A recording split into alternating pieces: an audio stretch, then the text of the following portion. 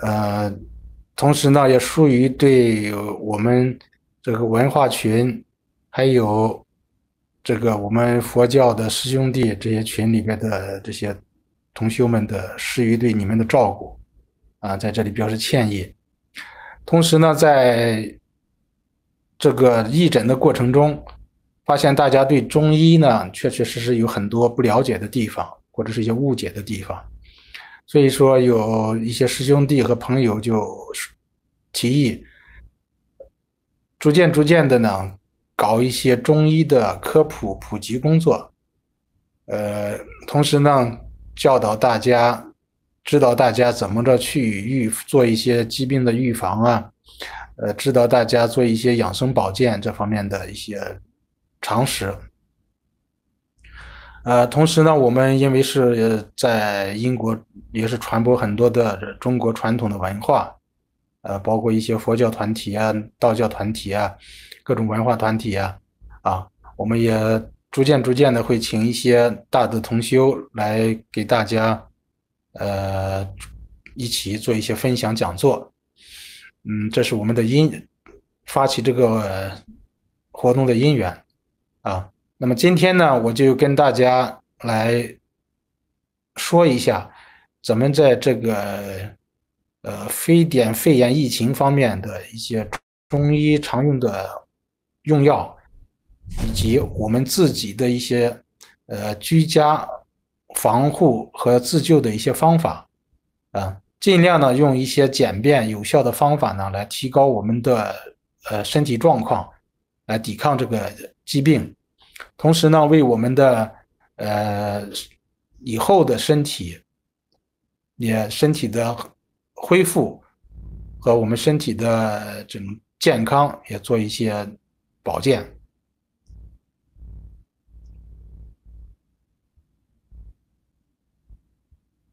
好，这是今天我讲的题目，就是抗疫中药的居家应用，呃，抗疫中药的应常用。应用和居家自救的方法介绍。呃，专业的东西呢，我们就少讲一点啊，少讲一点。呃，给大家一个参考。这个疫情啊，从发展到现在啊，我们主要讲一下英国的一些情况啊。英国的一些情况跟国内的情况不太一样。那么国内呢，有这个。呃，一种寒寒湿疫和和湿热疫这方面两个方面的一些呃争论。那么在英国的这次疫情呢，基本上都是以风寒湿为主的啊。呃，这个疫情的主要的病机呢，主要包括这五个方面：一个是风，一个是寒，一个湿，一个是瘀，一个是虚，主要这五个病机。呃，在英中国这个疫情。呃，爆发的时候呢，我们就呃组织了一些专家，对中国的疫情呃做一些分析和一些的指导吧，一些那个呃前线人员的一些呃身体方面的一些指导，是我们现代摄诊学会的啊，呃，我是这里边的专家之一。那么我们现代摄诊学会。对在武汉报道疫情的这个记者呢，对他们的身体有一个指导。嗯，每天他们都有记者发给我们这个舌头的照片，我们根据他舌头的照片呢，来判断他的身体状况啊，是不是易感人群，需要做哪一方面的防护和一些呃保健，来避免感染到这个病毒。啊，取得了非常好的效果。这个活动是现代摄诊协会和国内的伍连德基金会呃一起做的。那么这个活动上周末刚刚结束，但是呢，我们现代摄政协会和山东中医药大学和英国大使馆呃搞的这个全球的抗疫还是在呃继续进行中。那么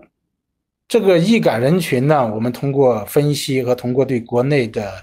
这些调查数据的分析，主要就是，呃，阳虚、气虚和寒湿比较重的人。现在的这个生活方式，大家都知道啊，到了现在，呃，人们的生活方式跟以前是完全不一样了。呃，夏天的时候天气炎热，那么以前的时候没有空调啊。中医也讲春夏养阳，我们春夏的时候呢，天气特别热啊，我们通过太阳和和天气地气的这种影响呢，把我们身体里边的呃冬天或者是以前储存下来的这些呃寒湿之气。把它排出来，但是现在呢，这个生活方式呢，每到了天气炎热的时候，我们家家都有空调，办公室的空调更是非常的呃冷啊，特别是英国，英国夏天的空调办公室是很冷的，有很多病人回来都说，呃，在办公室里边都要拿一个小小的毛毯盖在腿上或者披在肩上，夏天吃冷饮。啊，夏天吃冷饮，那么这个时候呢，这这种生活状况呢，就会不不可能就把我们身体内部的这种寒湿之邪排出来，同时呢，又加重了我们这个寒湿之邪。那么春夏养阳的这个呃养护阳气的这个功能呢，也被损害了，所以说我们就导致了一些阳虚的这种体质，啊，阳虚湿气偏盛，呃，同时。过多的熬夜、夜生活啊，加上呢我们的留学生啊，呃，学习压力大，那么各个各各各类人群的这个睡眠时间比较晚，入睡的时间比较晚，那么导致了这个阴阳都会虚弱，耗伤了阳气，都气虚寒，这种气虚啊、寒湿啊都会比较明显。同时，过多的冷饮、辛辣的饮食也是损伤脾胃的，脾胃损伤以后，你的气也虚。啊，湿气也盛啊，导致了这样的一些问题。那么这个瘀就更明显了。瘀呢，你比方说我们的肝郁啊，生活的这种呃压力、工作的压力、学习的压力导致的肝郁。呃，长期从去年十二月开始到现在，这个疫情的发展，本来心情很好的人，那么对这个疫情的这种恐惧啊、恐慌啊，也导致了很长久的这种呃肝郁郁闷的这种情况。那么这个瘀呢，同时还除了肝郁以外，还有这个肺郁的表现，就是肺气瘀滞啊。我们在这个疫情里边表现的非常明显，感染了这个病的人呀，都有肺部的症状啊，呃，胸闷、胸紧，这是他很明显的一个症状。那么风寒湿虚瘀这五个病症呢，是影响到呃，在英国表现的比较突出的呃这个病症啊。在我们传统上来讲呢，我们治疗风寒外感的这种病症啊，无论是流感、病毒，还是外感风寒的这种感冒啊，我们传统的中医的处方主要是有金方败毒散、人参败毒散、小柴胡汤这一类的啊。那么在英国呢，我一直在用着金方败毒散来治疗一些流感，是因为英国地处比较寒湿。啊，湿气比较重，冬天特别那个刺骨的比较比较冷啊，寒湿入侵比较明显。那么夏天呢，很很短的一阵阳光，然后完了以后马上就有雨，那么这个湿热也会带着这个呃进入身体，那么把湿邪存在身体里边啊，呃，突然间你受了受了风寒，也会嗯导致一些这种呃病症。那么，大多数在英国出现的这种感冒或者流感呢，都是风寒外感配上湿啊，大多数配上湿。那么金黄败毒散，它就是一个非常明显的、非常好的治疗风寒湿毒的呃外感的一个处方。那么人参败毒散就是在金方败毒散的基础上加了人参薄荷啊，它就有治疗带着一些虚症的一些病症。那么小柴胡呢，就是半表半里啊，它。伴有这个呃情绪方面的问题啊，胸胁苦闷呀，口干口苦口苦口干呀，啊出现了这样情志的病变，呃加一些小柴胡汤之类的。那么根据呃英国的疫情的特点呢，我自己还拟了一个处方，就把这三个处方加在一起啊。这个金黄败毒散，我们是我经平常用的是这个片剂啊，就把它一片。呃，浓缩片，浓缩片呢，一片是零点五克啊。根据病人的情况，一次给予四到六片啊，再多的可以用到呃十片、十二片一次啊，都可以根据他的情况。那么再一个呢，就是这个金黄败啊，再一个就是我给大家介绍一下，这是这次这个。呃，肺新冠肺炎的舌象的一个特点啊，大家看一下这个舌头，这些舌头呢，大家可以看到啊，每个舌头的前面前沿它都有一些红点啊，这个部位呢，这是呼吸道的部位，上呼吸道的部位，咽喉啊，呃，器官呀，气管呀，嗯，就是在这些部位啊，再往下，这里就是肺的位置了啊。那么早期的一些表现呢，就是这这舌尖中间的这个偏红，两侧的偏红。就是口腔和上呼吸道的感染的一个征象，啊，但是呢，它后边的舌头都是舌苔呢，都是偏白、偏白或偏腻的，啊，都是些寒寒症的一些表现。那么，主要只要你看到了这样的情况，它肯定是有上呼吸道感染的这个症性症状的啊。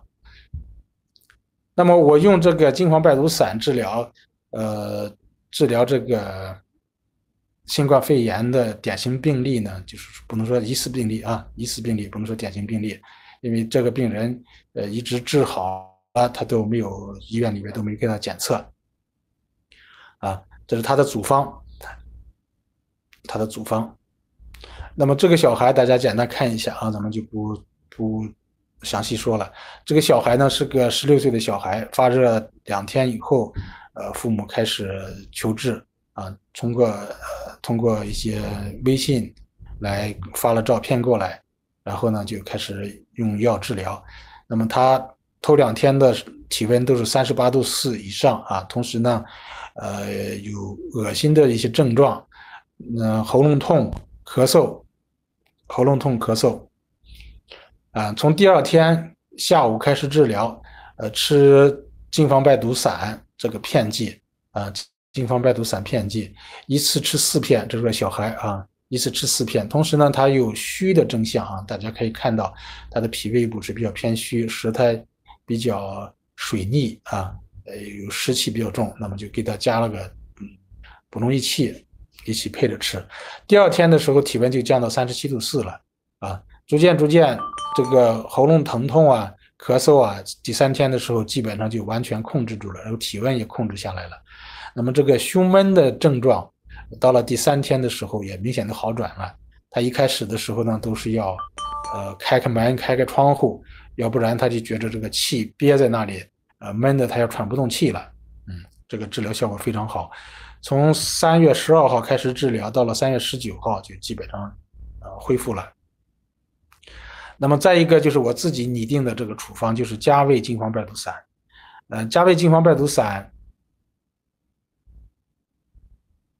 我是本来也想做成片剂啊，呃，服用方便，小孩吃起来也方便。嗯，外国人呢，他对这个中药的味道比较，呃，不太感兴趣啊。像那个药片，他直接就冲下去就可以了。那么这个粉剂呢，它就需要冲开了，浓缩粉呢冲开咽下去，呃，味道比较浓厚一点。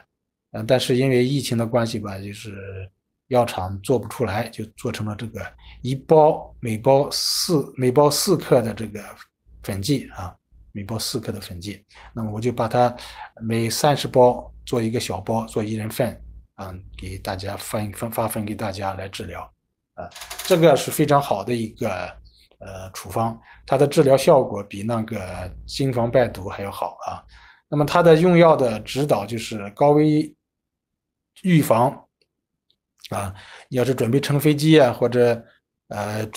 有预测要接触这个高危人群的时候呢，你提提前两天开始服用，早晚各一包啊，连续七天，七天以后如果没有什么症状，你就可以停药。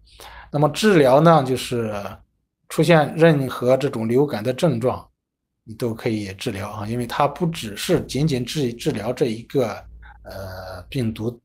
这个新冠肺炎的病毒的啊，所有的流感它都会治疗。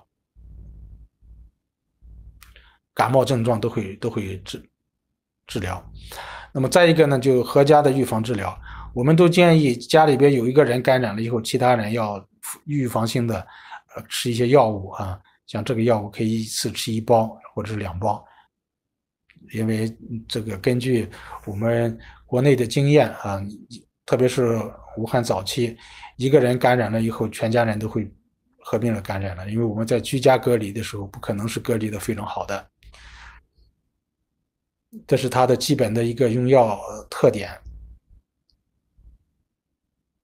呃，这里呢也有一个病例。嗯，这是一个我们的华人的女士啊，你看看她的舌头也是这样，舌尖是红的，舌舌舌中间它都是白腻苔啊，这是寒湿的一种表现，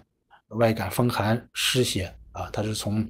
找我看病的时候呢，就已经啊持续发热咳嗽八天了啊，第十天的时候开始服用这个药物，那么体温就是第二天服用药物，第二天就开始嗯退下来了。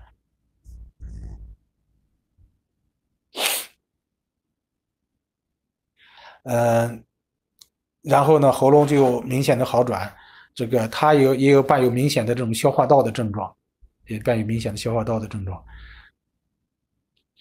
呃，可大家可以看他这个舌头的表现啊，体温也逐渐逐渐的好转，到了三十七度一服药第二天的时候，呃，咳嗽痰逐渐逐渐开始变黄，能够呃把它咳出来。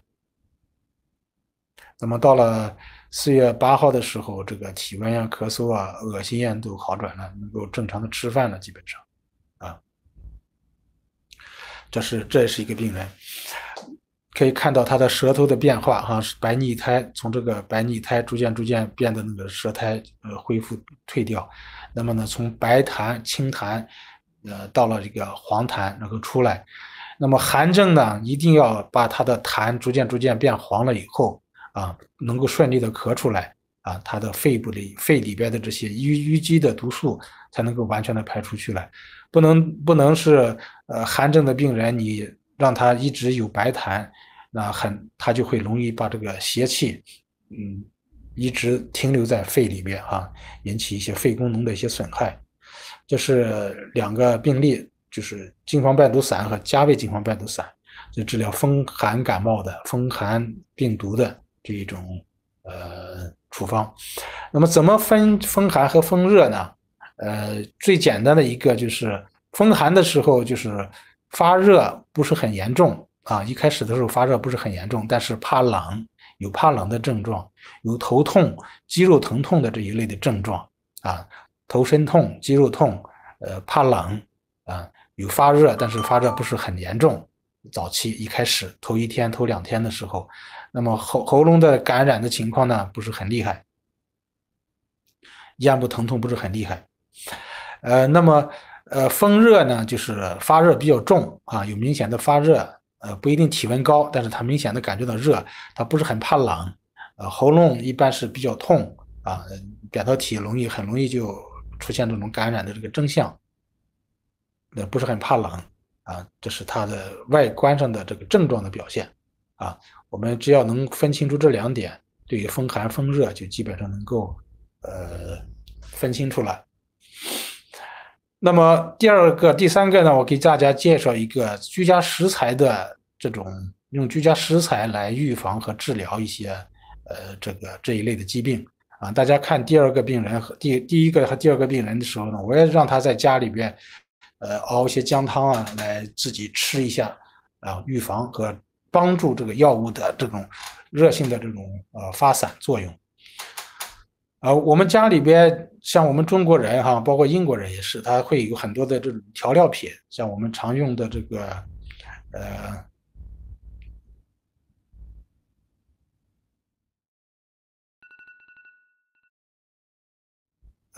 那都会有，呃，这个呢是用生姜生姜红糖汤啊。